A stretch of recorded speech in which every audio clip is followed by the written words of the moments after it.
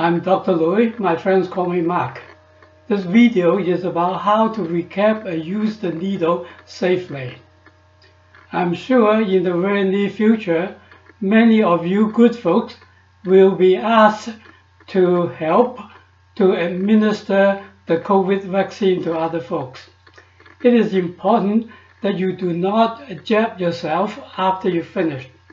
Here are two very easy to learn techniques.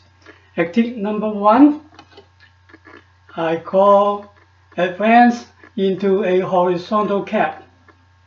It goes something like this. The cap should be on a horizontal surface. You put the needle into the cap and tilt the syringe up and let the cap fall. Tighten it a little and fold the whole thing into the sharp box.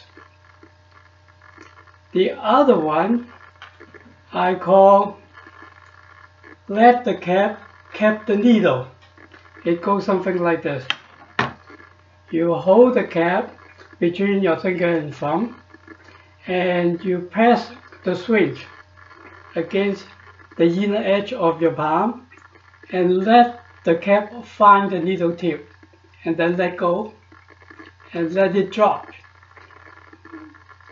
After you drop, you tighten it up a little and you fold that into the sub box.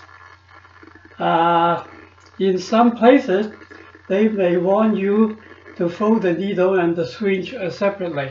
So you have to do that. Uh, thank you for watching. Have a good day.